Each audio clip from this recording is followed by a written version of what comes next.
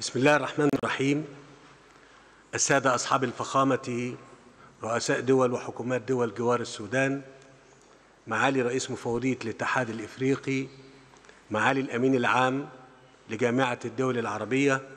السيدات والسادة الحضور الكريم. اسمحوا لي بداية أن أرحب بكم جميعا في مصر وأشكركم على تلبية الدعوة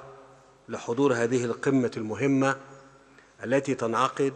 في لحظة تاريخية فارقة من عمر السودان الشقيق.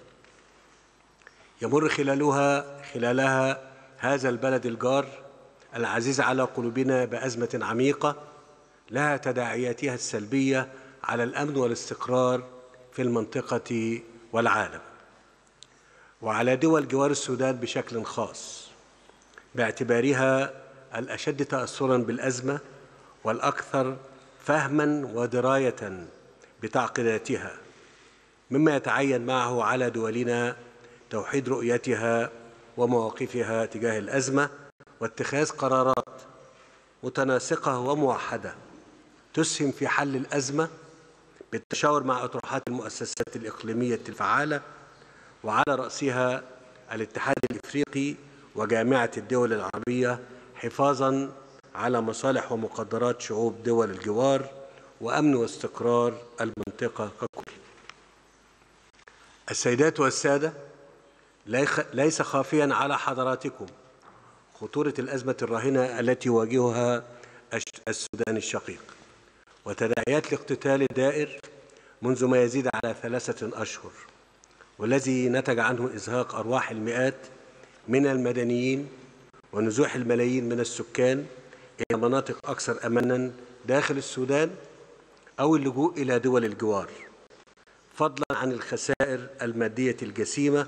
التي تعرضت لها الممتلكات العامة والخاصة وتدمير العديد من المرافق الحيوية في البلاد. ويضاف إلى ذلك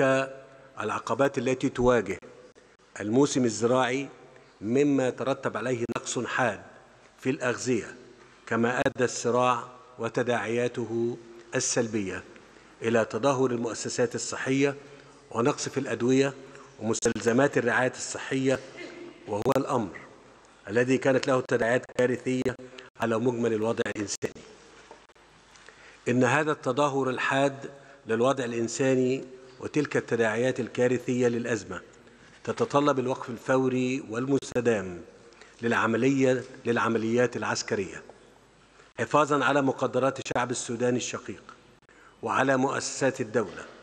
لتتمكن من الاطلاع بمسؤوليتها تجاه المواطنين وهما يتيح الاستجابة الإنسانية الجادة والمنسقة والسريعة من كافة أطراف المجتمع الدولي بما يرتقي لفداحة هذه الأزمة الخطيرة التي تتطلب معالجة جذورها عبر التواصل عبر التوصل إلى حل سياسي شامل